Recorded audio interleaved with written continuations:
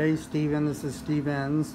I just wanted to send you a little video, show you my children. So this is the townhouse I live in. That's the kitchen. There's Jasper. He's 13. Say hey Jasper. Hey. He's 13 years old. He's a Wheaten Terrier Mix.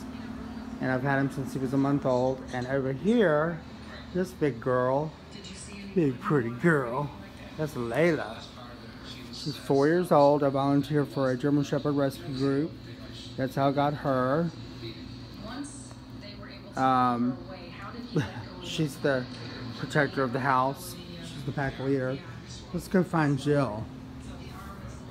I'm trying, to make this too long.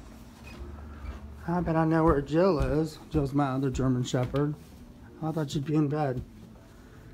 There she is. Jill. Say hey, she's a one and a half year old German bloodline German Shepherd and uh, tried to foster her through my rescue group and that lasted a week. Right right big paws oh you're gonna flip over on your belly? Oh okay. Anyway oh look a high dive ah Layla all right bye